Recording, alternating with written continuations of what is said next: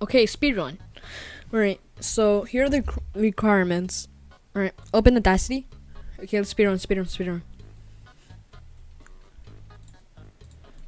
Okay, here's Audacity. So first, you want to record your um vowels, which I already did. Um, and I'll show you how to cut them. Let me just um, uh,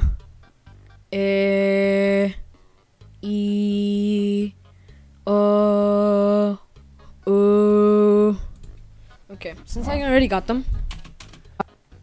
Alright, that works. Uh, so now you, you wanna um go to your um file explorer, which is right here. Go to desktop or anything that you want to save it in. I'm gonna name this tutorial. Um, tutorial doesn't. You can name it whatever you really want. Tutorial tutorial voice bank. I'm gonna call it TV for now. Alright, since I've done that, you want to um click on the thing on your thing that you like, which you have to click on the um audio sound by the way, for it to work. You have to um also hold and drag. Now drag the part that you like. Uh, I like this part, so um click file, export, um select I'll export and selected an um thing. I also have to make um many attempts trying to make this. Anyway.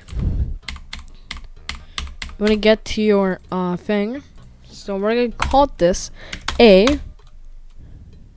A. A. Now this is A.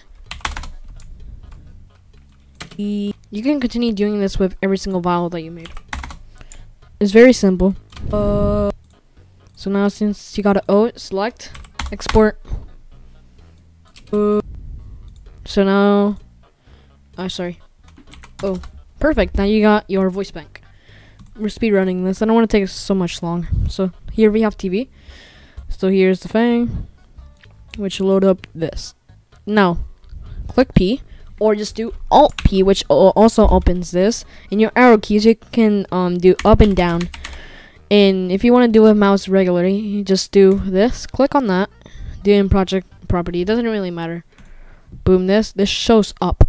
So after this shows up, you want to uh, click the three dots and find your uh, voice bank location, which I already have it right here.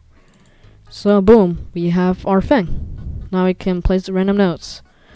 In next video, I'll be teaching you how to make um, MIDI with um. Well, you can take the FLP and convert it to MIDI, which is really easy. So uh, E I um O and U. And this is how I make my FNF covers. Uh, I just, I just like to use this plugin called um Auto Pitch Rep uh, thing, right? Which is this writer. This version I've used version 1.7.0. It really makes it so much nicer. Listen, listen to this. Take a listen. Like the ooh makes it so much better. By the way makes it so comfortable to listen to to your ears sometimes. It really depends. Well um this is a tutorial which that is beginning. Okay okay. So next video i'm teaching you how to import media. Sorry if this video was a little bit rushed. I just had to do this before i get interrupted because i tried to do many attempts and i kept on getting interrupted a lot